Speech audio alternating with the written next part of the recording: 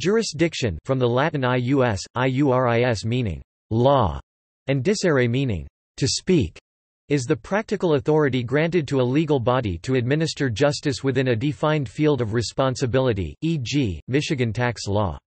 In federations like the United States, areas of jurisdiction apply to local, state, and federal levels, e.g. the court has jurisdiction to apply federal law. Colloquially it is used to refer to the geographical area to which such authority applies, e.g. the court has jurisdiction over all of Colorado. The legal term refers only to the granted authority, not to a geographical area. Jurisdiction draws its substance from international law, conflict of laws, constitutional law, and the powers of the executive and legislative branches of government to allocate resources to best serve the needs of society. International dimension. International laws and treaties provide agreements which nations agree to be bound to. Topic: Political issue. Supranational organizations provide mechanisms whereby disputes between nations may be resolved through arbitration or mediation. When a country is recognized as de jure, it is an acknowledgement by the other de jure nations that the country has sovereignty and the right to exist. However, it is often at the discretion of each nation whether to cooperate or participate. If a nation does agree to participate in activities of the supranational bodies and accept decisions, the nation is giving up its sovereign authority and thereby allocating power to these bodies. Insofar as these bodies or nominated individuals may resolve disputes through judicial or quasi-judicial means, or promote treaty obligations in the nature of laws, the power ceded to these bodies cumulatively represents its own jurisdiction. But no matter how powerful each body may appear to be, the extent to which any of their judgments may be enforced, or proposed treaties and conventions may become, or remain, effective within the territorial boundaries of each nation is a political matter under the sovereign control each nation. Topic: International and municipal. The fact that international organizations, courts and tribunals have been created raises the difficult question of how to coordinate their activities with those of national courts. If the two sets of bodies do not have concurrent jurisdiction but, as in the case of the International Criminal Court ICC, the relationship is expressly based on the principle of complementarity, i.e., the International Court is subsidiary or complementary to national courts, the difficulty is avoided. But if the jurisdiction claimed is concurrent, or as in the case of International Criminal Tribunal for the former Yugoslavia ICTY, the International Tribunal is to prevail over national courts, the problems are more difficult to resolve politically. The idea of universal jurisdiction is fundamental to the operation of global organizations such as the United Nations and the International Court of Justice (ICJ), which jointly assert the benefit of maintaining legal entities with jurisdiction over a wide range of matters of significance to nations. The ICJ should not be confused with the ICC and this version of universal jurisdiction is not the same as that enacted in the War Crimes Law Belgium which is an assertion of extraterritorial jurisdiction that will fail to gain implementation in any other state under the standard provisions of public policy. Under Article 34 Statute of the ICJ only nations may be parties in cases before the court and, under Article 36, the jurisdiction comprises all cases which the parties refer to it and all matters specially provided for in the Charter of the United Nations or in treaties and conventions in force. But, to invoke the jurisdiction in any given case, all the parties have to accept the prospective judgment as binding. This reduces the risk of wasting the court's time. Despite the safeguards built into the constitutions of most of these organizations, courts and tribunals, the concept of universal jurisdiction is controversial among those nations which prefer unilateral to multilateral solutions through the use of executive or military authority, sometimes described as realpolitik-based diplomacy.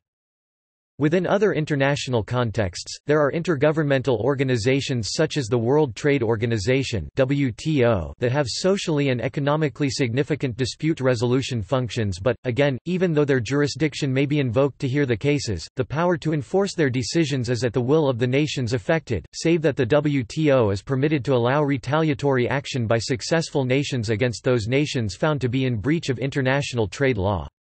At a regional level, groups of nations can create political and legal bodies with sometimes complicated patchworks of overlapping provisions detailing the jurisdictional relationships between the member states and providing for some degree of harmonization between their national legislative and judicial functions. For example, the European Union and African Union both have the potential to become federated nations although the political barriers to such unification in the face of entrenched nationalism will be very difficult to overcome. Each such group may form transnational institutions with declared legislative or judicial powers. For example, in Europe, the European Court of Justice has been given jurisdiction as the ultimate appellate court to the member states on issues of European law. This jurisdiction is entrenched and its authority could only be denied by a member nation if that member nation asserts its sovereignty and withdraws from the Union. Law The standard treaties and conventions leave the issue of implementation to each nation, i.e. there is no general rule in international law that treaties have direct effect in municipal law, but some nations, by virtue of their membership of supranational bodies, allow the direct incorporation of rights or enact legislation to honor their international commitments. Hence, citizens in those nations can invoke the jurisdiction of local courts to enforce rights granted under international law wherever there is incorporation. If there is no direct effect or legislation, there are two theories to justify the courts incorporating international into municipal law. Monism This theory characterizes international and municipal law as a single legal system with municipal law subordinate to international law. Hence, in the Netherlands, all treaties and the orders of international organizations are effective without any action being required to convert international into municipal law. This has an interesting consequence because treaties that limit or extend the powers of the Dutch government are automatically considered a part of their constitutional law, for example, the European Convention for the Protection of Human Rights and Fundamental Freedoms and the International Covenant on Civil and Political Rights. In nations adopting this theory, the local courts automatically accept jurisdiction to adjudicate on lawsuits relying on international law principles. Dualism This theory regards international and municipal law as separate systems so that the municipal courts can only apply international law either when it has been incorporated into municipal law or when the courts incorporate international law on their own motion. In the United Kingdom, for example, a treaty is not effective until it has been incorporated at which time it becomes enforceable in the courts by any private citizen, where appropriate, even against the UK government. Otherwise the courts have a discretion to apply international law where it does not conflict with statute or the common law. The constitutional principle of parliamentary supremacy permits the legislature to enact any law inconsistent with any international treaty obligations even though the government is a signatory to those treaties. In the United States, the Supremacy Clause of the United States Constitution makes all treaties that have been ratified under the authority of the United States and customary international law a part of the supreme law of the land. Along with the Constitution itself and acts of Congress passed pursuant to it U.S. Const.art. VCL, 2 and, as such, the law of the land is binding on the federal government as well as on state and local governments. According to the Supreme Court of the United States, the treaty power authorizes Congress to legislate under the necessary and proper clause in areas beyond those specifically conferred on Congress Missouri v. Holland, 252 U.S. 416 1920. International This concerns the relationships both between courts in different jurisdictions, and between courts within the same jurisdiction. The usual legal doctrine under which questions of jurisdiction are decided is termed forum non-conveniens. To deal with the issue of forum shopping, nations are urged to adopt more positive rules on conflict of laws.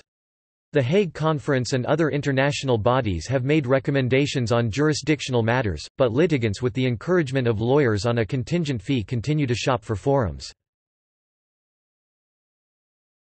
Supranational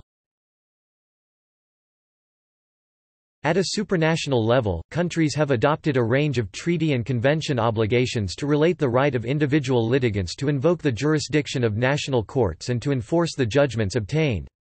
For example, the member nations of the EEC signed the Brussels Convention in 1968 and, subject to amendments as new nations joined, it represents the default law for all 27 member states of what is now termed the European Union on the relationships between the courts in the different countries. In addition, the Lugano Convention 1988 binds the European Union and the European Free Trade Association. In effect from 1 March 2002, all the member states of the EU except Denmark accepted Council Regulation EC 44 which makes major changes to the Brussels Convention and is directly effective in the member nations. Council Regulation EC 44 now also applies as between the rest of the EU member states and Denmark due to an agreement reached between the European Community and Denmark. In some legal areas, at least, the CACA enforcement of foreign judgments is now more straightforward. At a national level, the traditional rules still determine jurisdiction over persons who are not domiciled or habitually resident in the European Union or the Lugano area. National Many nations are subdivided into states or provinces i.e. a subnational state in a federation as can be found in Australia, Brazil, India, Mexico and the United States. Such subunits will exercise jurisdiction through the court systems as defined by the executives and legislatures. When the jurisdictions of government entities overlap one another, for example between a state and the federation to which it belongs their jurisdiction is a shared or concurrent jurisdiction. Otherwise, one government entity will have exclusive jurisdiction over the shared area. When jurisdiction is concurrent, one government entity may have supreme jurisdiction over the other entity if their laws conflict. If the executive or legislative powers within the jurisdiction are not restricted, or have only limited restrictions, these government branches have plenary power such as a national policing power. Otherwise, an enabling act grants only limited or enumerated powers. Child custody cases in the U.S. are a prime example of jurisdictional dilemmas caused by different states under a federal alignment. When parents and children are in different states, there is the possibility of different state court orders overruling each other. The U.S. solved this problem by adopting the Uniform Child Custody Jurisdiction and Enforcement Act. The act established criteria for determining which state has primary jurisdiction. United States The primary distinctions between areas of jurisdiction are codified at a national level. As a common law system, jurisdiction is conceptually divided between jurisdiction over the subject matter of a case called in rem and jurisdiction over the person called in personam. A court may use jurisdiction over property located within the perimeter of its powers without regard to personal jurisdiction over the litigants. This is an example of in rem jurisdiction. A court whose subject matter jurisdiction is limited to certain types of controversies for example, suits in admiralty or suits where the monetary amount sought is less than a specified sum, is sometimes referred to as a court of special jurisdiction or court of limited jurisdiction. A court whose subject matter is not limited to certain types of controversy is referred to as a court of general jurisdiction. In the U.S. states, each state has courts of general jurisdiction, most states also have some courts of limited jurisdiction. Federal courts those operated by the federal government are courts of limited jurisdiction. Federal jurisdiction is divided into federal question jurisdiction and diversity jurisdiction. The United States District Courts may hear only cases arising under federal law and treaties, cases involving ambassadors, admiralty cases, controversies between states or between a state and citizens of another state, lawsuits involving citizens of different states, and against foreign states and citizens. Certain courts, particularly the United States Supreme Court and most state Supreme Courts, have discretionary jurisdiction, meaning that they can choose which cases to hear from among all the cases presented on appeal. Such courts generally only choose to hear cases that would settle important and controversial points of law. Though these courts have discretion to deny cases they otherwise could adjudicate, no court has the discretion to hear a case that falls outside of its subject matter jurisdiction. It is also necessary to distinguish between original jurisdiction and appellate jurisdiction. A court of original jurisdiction has the power to hear cases as they are first initiated by a plaintiff, while a court of appellate jurisdiction may only hear an action after the court of original jurisdiction or a lower appellate court has heard the matter.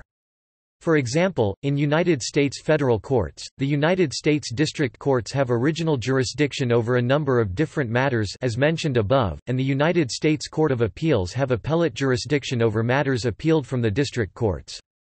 The U.S. Supreme Court, in turn, has appellate jurisdiction of a discretionary nature over the courts of appeals, as well as the state Supreme Courts, by means of writ of certiorari. However, in a special class of cases, the U.S. Supreme Court has the power to exercise original jurisdiction. Under 28 U.S.C. Section 1251, the Supreme Court has original and exclusive jurisdiction over controversies between two or more states, and original but non-exclusive jurisdiction over cases involving officials of foreign states, controversies between the federal government and a state, actions by a state against the citizens of another state or foreign country. As a practical example of court jurisdiction, as of 2013 Utah has five types of courts, each for different legal matters and different physical territories. 108 judges oversee justice courts, which handle traffic and parking citations, misdemeanor crimes, and most small claims cases. 71 judges preside over district courts, which deal with civil cases exceeding small claims limits, probate law, felony criminal cases, divorce and child custody cases, some small claims, and appeals from justice courts. 28 judges handle juvenile court, which oversees most people under 18 years old who are accused of a crime, as well as cases of alleged child abuse or neglect. Serious crimes committed by 16 or 17 year old persons may be referred to the district courts. Seven judges in the appeals court hear most criminal appeals from district courts, all appeals from juvenile court and all domestic divorce cases from district court, as well as some cases transferred to them by the Supreme Court. The Supreme Court seats five judges who hear appeals on first-degree felonies the most serious including capital crimes, as well as all civil cases from district court excepting divorce, domestic cases. The Supreme Court also oversees cases involving interpretation of the state constitution, election matters, judicial conduct, and alleged misconduct by lawyers. This example shows how matters arising in the same physical territory might be seen in different courts. A minor traffic infraction originating in Orem, Utah is handled by the Orem Justice Court. However, a second-degree felony arrest and a first-degree felony arrest in Orem would be under the jurisdiction of the District Court in Provo, Utah.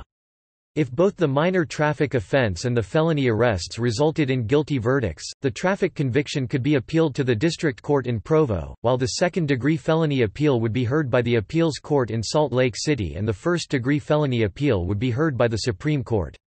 Similarly for civil matters, a small claims case arising in Orem would probably be heard in the Orem Justice Court, while a divorce filed by an Orem resident would be heard by the district court in Provo. The above examples apply only to cases of Utah state law, any case under federal jurisdiction would be handled by a different court system. All federal cases arising in Utah are under the jurisdiction of the United States District Court for the District of Utah, headquartered in Salt Lake City, Utah, and would be heard in one of three federal courthouses.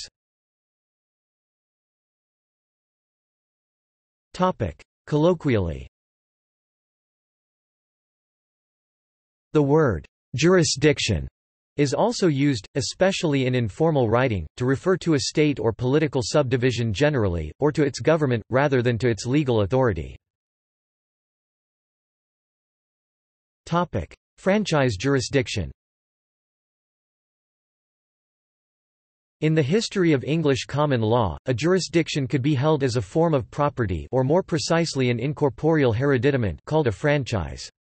Traditional franchise jurisdictions of various powers were held by municipal corporations, religious houses, guilds, early universities, Welsh marches, and counties palatine.